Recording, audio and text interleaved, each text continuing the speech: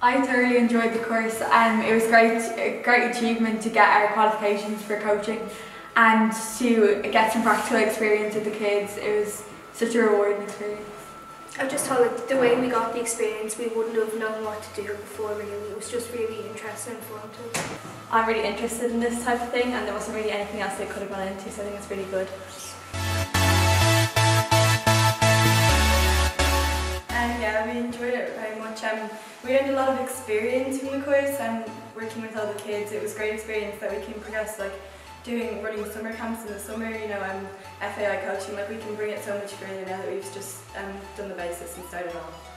Yeah, it's uh, a great like opportunity. I'm really happy that I got to take part in this uh, course, and I definitely, um, it's definitely kind of opened my eyes for my future job, and um, for the summer I can probably get a job or something out of it. Yeah.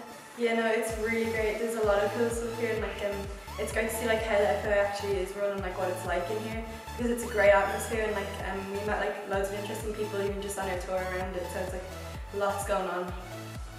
Um, I already, I already um, helped coach the Girls Academy in Lusk, so I already like kind of wanted to, but it does like help you want to develop further. Yeah, potentially, like we know we have our foundations, it's going to be so much easier to um, bring that on and hopefully fulfill.